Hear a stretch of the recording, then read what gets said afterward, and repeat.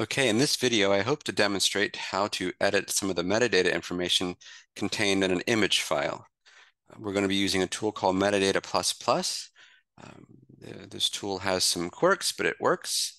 Um, if you don't know what I mean by metadata, this is all the information about the file. Uh, the, depending upon what you've got it set up, the image can contain information like location data. It can contain the kind of camera used. It can use, contain date and time um, for our purposes, we're wanting to make sure that it contains a creator or author. We want to make sure it contains copyright information, and we want to make sure it contains the licensing information. And we're going to be editing the XMP data uh, metadata file bits. So if you uh, look here, this is my, I've highlighted my cardboard box image.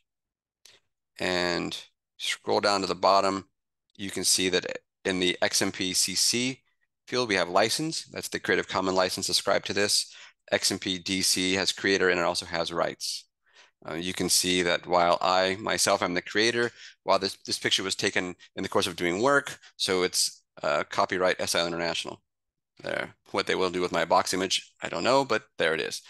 All right. Um, so I'm going to go up to my images that have yet to be processed. Do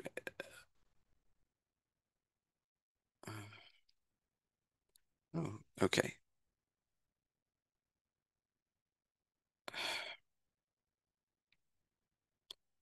Okay, so this this uh, picture of the air conditioning unit in our office, if I scroll down, you can see that it does not have any information. What I can do is I can go into XMP, go to C, go to CC, and when the tag comes up, I can edit, I can copy paste the license information. Um, I can pull that off of the creative, I'm pull that off the Creative Commons website. So I'm gonna, I'm gonna flash over to their website, to their page. Okay, I've gone to the creativecommons.org slash license page. I can scroll down and I can see, decide what is best for me. And we're gonna use this license for our demonstration. So I'm going to click on view license deed. And you can see up here is the URL. So I'm actually going to copy this and then I'm going to paste it into the, um, the, the, appropriate metadata field in uh, metadata plus plus. License, control V, apply, apply.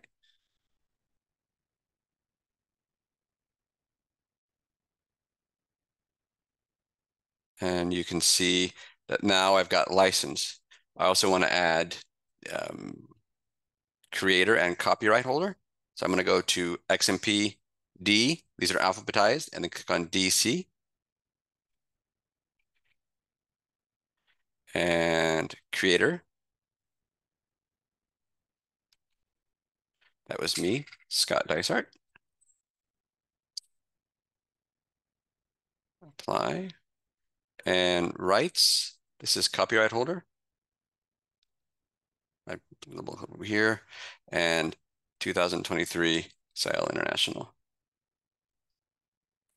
And my keyboard doesn't have the ability to type the C, the, the, the copyright keyboard, but I'll add that in a minute.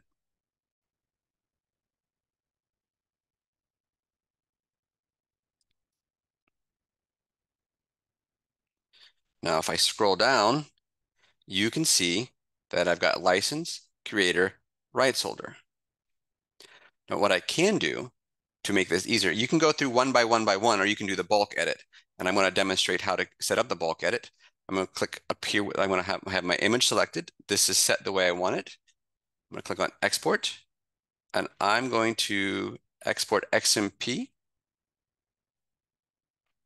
I'm going to export it as CSV and I'm gonna and I'm going to tell it where I want it to go.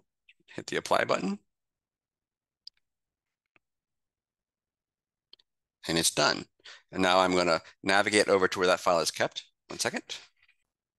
Okay, I am now in my folder and you can see that it, there's my exported CSV file and it's got the name of the file that was the source. So if I double click on it, A, I'm going to tell it how I want to LibreOffice Calc to open it and read it. And now you can see I have a CSV file. Uh, okay, so then I can close it. I'm going to rename this to something that I want to keep. Um, call it SIL International because that's the copyright information.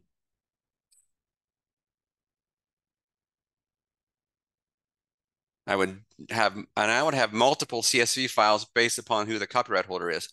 And I would do this because in my, in my, I'm working on a FLEx database. I might be getting images that are my own, like I took on a vacation of, a, of an interesting bird or an interesting tree, or that is my own image. Um, I didn't do work for hire. That is mine. I'm the copyright holder. But things I take for work, uh, those are copyright SIL International. So I want to have CSV files that match the, the appropriate situation. I just wanted to demonstrate that I found the, uh, the copyright symbol and I've added it to the XMP DC rights column. Click Save, use CSV format. Okay, and now I'm going to demonstrate how to bulk edit XMP metadata information on files in a folder.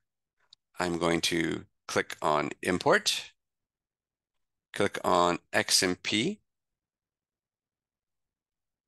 I'm going to select the files in another folder because I'm not in the folder that I'm I've chosen or not in the folder that the files I want. It's important that you pick the proper folder, otherwise it'll do exactly what to tell it. I'm at the OK button. Now I'm going to browse to find the CSV file.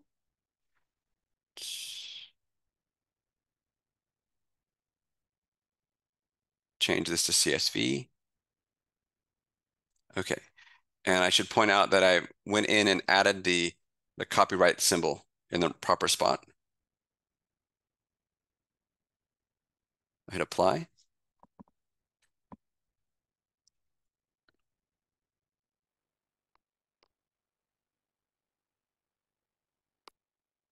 And now if I go to Sale New International Images,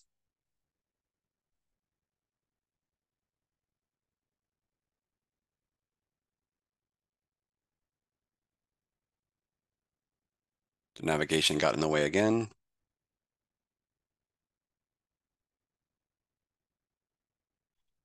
You can see if I scroll down, you can see the copyright information for my receipts image. And you see it's also made an original, so it's kept the original. It's made like a duplicate copy. An air conditioning unit. And I'll do the brooms.